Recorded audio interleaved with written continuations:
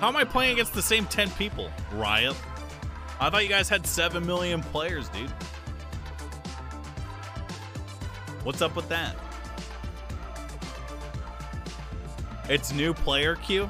Man, you League fans are fucking delusional, dude. And I, I would hazard a guess and say that half of you guys only play this game because you think it's so popular. You're fucking delusional. Ow, cat!